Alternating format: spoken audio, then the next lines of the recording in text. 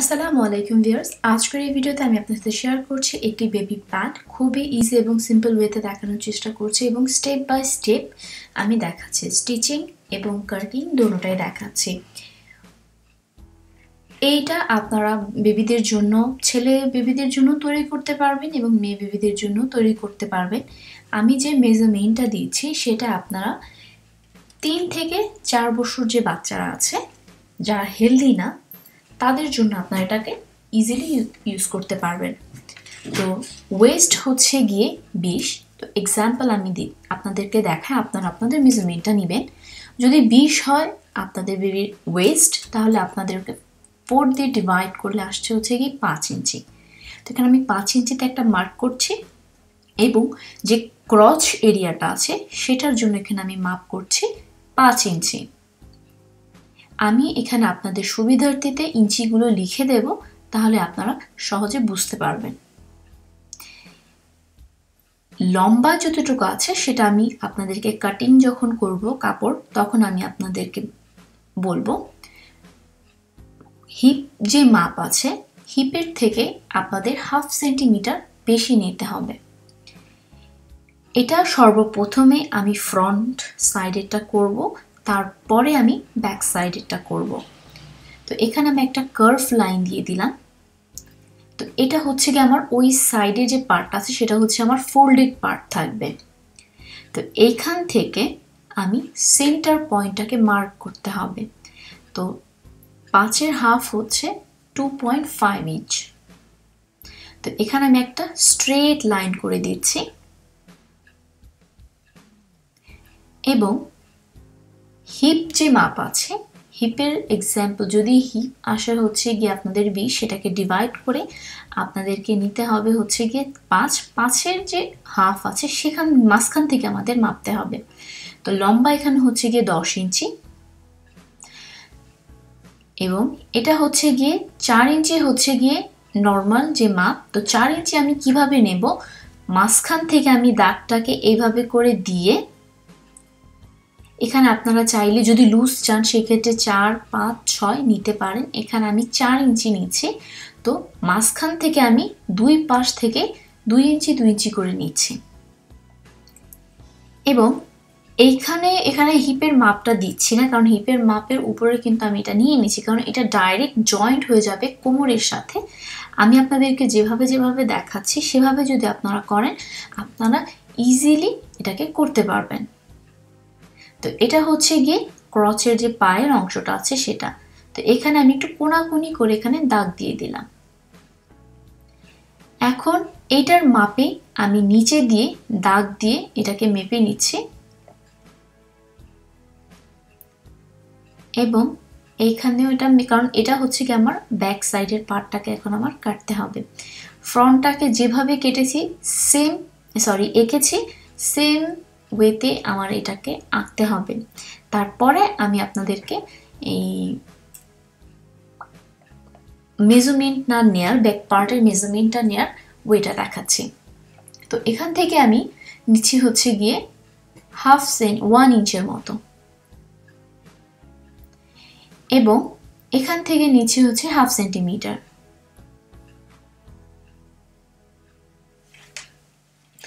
এবং এখানে ফ্রন্টের যে ইটা আছে, সেটা কিন্তু পেছনের সরি পেছনের যে সাইডটা আছে, সেটা কিন্তু সমান থাকবে এবং ফ্রন্টের যে পার্ট আছে, সেটা একটু নিচে থাকবে। আমি আপনাদেরকে কাটিং যখন করব, তখন আমি আপনাদেরকে দেখাবো, তাহলে আপনারা ইজিলি বুঝতে পারবেন। কারণ সামনের যে সাইডটা আছে, সেটা কিন্তু একটু শর্ট থাকে, যার জন্য আমি পেছনের পার্টটা একটু বড় নিচ্ছি, এক ইঞ্চির মতো। তো এভাবে করে এখন আমি এভাবে করে একটু কোনাকুনি করে দিচ্ছি। সরি এখানে আমি লাইনটা আমার এইভাবে দিতে হবে, যেখানে আমি রেড লাইনটা দেখিয়েছি, ঠিক এভাবে দিতে হবে। কারণ ভুলে আমি এটাকে উল্টো করে দিয়েছি। লাল যে লাইনটা দিয়েছি, সেই লাইনটা যেভাবে কেটেছি, ঠিক সেইভাবে আপনাদেরকে দাগটা দিতে হবে। আমি উল্টো করে দাগটা দিয়েছি, আবারও বলছি। এখন এখানে মার্ক করে নিলাম। এখান থেকে আমি হাফ সেন্টিমিটার করে মেপে নিলাম। কারণ এটা হচ্ছে গিয়ে ব্যাক পার্ট তো এখন এগুলোকে আমি কেটে নিচ্ছি। কাটা হয়ে গেলে এখান থেকে আমি আরেকটা জিনিস বলতে চাই। যদি আপনারা কটন ফ্যাব্রিক আমাদের দেখবেন যে গেঞ্জি যে আমাদের আছে, সেই গেঞ্জি যে কাপড়টা, সেই কাপড় টাইপের বেসিকলি এই ট্রাউজারগুলো হয়ে থাকে বেবি ট্রাউজার তো সেই কাপড় যদি নেন, তাহলে আপনারা, আমি যে মেজারমেন্টে দিচ্ছি, এই মেজারমেন্টে আপনারা ইজিলি ছোট বড় হবে না। একদম পারফেক্ট হবে। যদি তারপরও ছোট হয়ে যায় বেবিরা যখন পরবে, তখন ওটা ফিটিং হয়ে থাকবে, কোনো প্রবলেম হবে না। অ্যান্ড আপনারা যদি সুতি ফ্যাব্রিক নিতে চান, যেরকম আমাদের কটন ফ্যাব্রিক আছে নর্মাল যে কটন ফ্যাব্রিক আছে, সেটা যদি নেন, তাহলে আপনাদেরকে আমি বলব, সবসময় প্রত্যেকটা পাশ থেকে আপনারাও এক ইঞ্চি করে এক্সট্রা নেবেন। যে মেজারমেন্ট আমি দিয়েছি, তার থেকে এক ইঞ্চি এক্সট্রা নেবেন। এতে করে হবে কি, কারণ কটন ফ্যাব্রিক ধুলে ছোট হয়ে যায়, সেক্ষেত্রে আপনারা যদি এভাবে করেন, তাহলে জিনিসটা পারফেক্টলি সুন্দরভাবে এটা পরতে পারবে। তো এখন আমি এই কাপড়টা, এই কাগজটাকে কেটে নিচ্ছি এবং ব্যাক পার্টের কাগজটাকেও কেটে নিচ্ছি।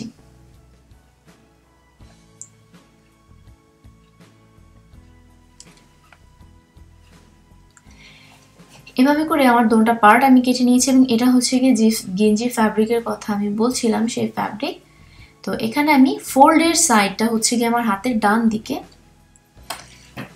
তো এইভাবে করে দিয়ে আমি চারো পাশ থেকে আমি কেটে নিচ্ছি। এখানে আমি সাইড দিয়ে কেটেছি, কারণ আমি সাইড দিয়ে চাইছি যে একটা স্টিচ থাকুক, যার জন্য এখানে আমি সাইডে দিয়েছি। আপনারা যদি চান যে না সাইডে কোনো স্টিচ দেবেন না, সেক্ষেত্রে আপনারা এটাকে সমানও রাখতে পারেন। তো এখন যা করব, এটাকে আমি এই সাইডে রাখছি এবং এটাকে এ রাইট সাইড রাইট সাইড একসাথে রেখে এখানে আমি এটাকে সেলাই করব। এই জায়গাটাকে এখন এটাকে সেলাই করব, ক্রচ যেটা আছে, সেই ক্রচটা। এবং এক্স্যাক্ট এই জিনিসটা আমাকে এতেও করতে হবে। এবং এখানে এই ফ্যাব্রিকের সেলাই একটা ওয়ে আছে যেটা হচ্ছে জিগজ্যাগ স্টিচ আপনারা নর্মাল স্টিচ দেবেন না, তাহলে কিন্তু স্টিচ বসবে না। আপনারা জিগজ্যাগ স্টিচ দেবেন হাফ সেন্টিমিটারের মতো একটু কাপড়টাকে ফ্যাব্রিকটাকে ফোল্ড করে তারপর জিগজ্যাগ স্টিচ দেবেন, তাহলে সুন্দর মতো আপনারা স্টিচটা করতে পারবেন। তো এখন যা করছি ফ্রন্ট সাইডটাকে আমি একইভাবে সেলাই করে নিচ্ছি।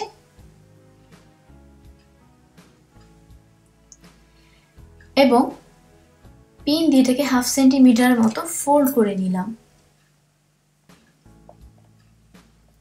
ফোল্ড করে এখানে পিন দিয়ে ব্লক করে নিচ্ছি। আপনাদের সুবিধার্থীতে আপনারা চারপাশে পিন দিয়ে ব্লক করে তারপর এখানে সেলাই করতে পারবেন। তো এখানে আমি নিচ পর্যন্ত এভাবে জিগজাগ সেলাই দিয়ে দিচ্ছি।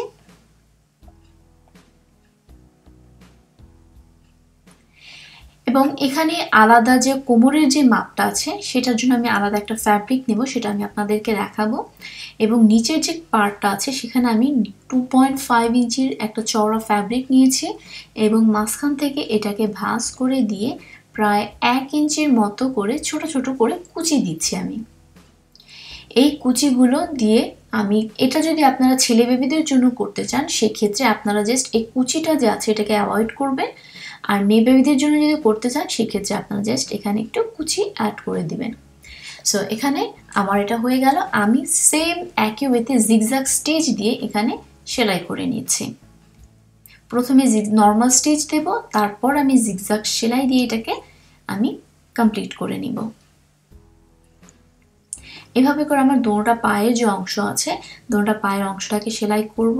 সব শেষে যে ক্রচ আছে, সেখান থেকে আমি সেলাই করা স্টার্ট করব ফোল্ড করে সুবিধার্থীতে। আপনারা এটাকে পিন দিয়ে ব্লক করে তারপর এখানে সেলাই করতে পারবেন। এবং এখানেও আমি জিগজ্যাগ সেলাই দিচ্ছি। বেসিকলি এই ফ্যাব্রিকে জিগজ্যাগ সেলাইটা কিন্তু সুন্দরভাবে বসে এবং এই ফিনিশ যে লাইনটা সেটা খুব সুন্দর একটা ফিনিশিং লুক দেয়। বাট নর্মাল স্টিচ যদি আপনারা দেন, তাহলে কিন্তু সেখানে স্টিচটা বসবে না লুজ থাকবে এবং কাপড়টা নষ্ট হয়ে যাবে। সো এখানে আমি সেলাই করে নিলাম। তো এই লাইনটা সেলাই করলে আমার নিচের যে পার্টটা আছে, সেটা রেডি হয়ে গেল। তো এখন আমি সেলাই করে দেখাচ্ছি যে কোমরে যে এক্সট্রা রাবার আমি ব্যান্ড স্টিচ করব, সেটা আমি কীভাবে করছি। নর্মালি আমার, আপনাদের বেবিদের যদি ওয়েস্ট থাকে বিশ, তাহলে এখানে আপনাদেরকে নিতে হবে এক ইঞ্চি কম। যদি মনে করেন যে না, আপনি লুজ চাইছেন, তাহলে সেক্ষেত্রে আপনারা বিশ ইঞ্চি নিতে পারেন বাট আমি আপনাদেরকে প্রেফার করব বেশি লুজ না নেন, এক ইঞ্চি শর্ট নেন, তাহলে ভালো। আমি এখানে উনিশ ইঞ্চি নিচে হচ্ছে গিয়ে রাবার এবং এখানে এই যে কাপড়টা আছে, এটাও হচ্ছে গিয়ে আমি টু পয়েন্ট ফাইভ ইঞ্চি নিয়েছি হচ্ছে গিয়ে চড়ায় এবং লম্বায় হচ্ছে গিয়ে যতটুকু আমার প্রয়োজন হয়। তো সর্বপ্রথমে এখানে আমি সেলাই করে নিচ্ছি এই পার্টটাকে প্রায় এখানে বাইশ সেন্টি বাইশ ইঞ্চির মতো আছে। বাইশ থেকে একুশ ইঞ্চির মতো লম্বা আছে এই কাপড়টা। তো এখানে আমি সেলাই করে নিচ্ছি।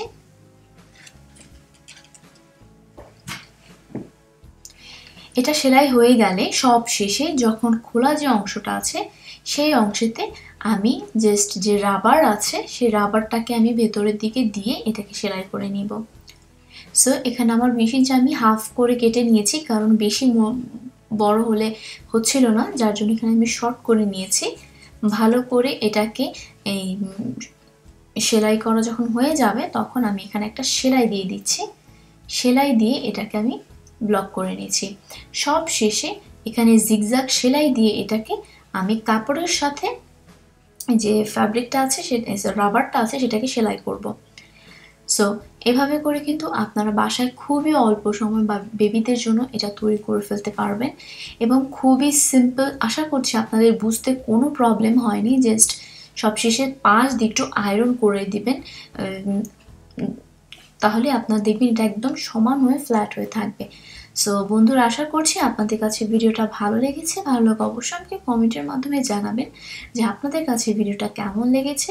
ততদিন পর্যন্ত ভালো থাকেন, সুস্থ থাকবেন। এবং যদি আমার যারা নতুন আছেন ভিডিওতে, তাদেরকে রিকোয়েস্ট করব আমার চ্যানেলটাতে সাবস্ক্রাইব করুন এবং পাশে থাকা যে বেলাইকিন বাটনটা আছে, সেটাকে ক্লিক করুন, তাহলে সবার আগে নোটিফিকেশন আপনাদের কাছে চলে যাবে। তো সকলে সুস্থ থাকবেন, ভালো থাকবেন। আল্লাহ হাফেজ। আসসালামু আলাইকুম। বাই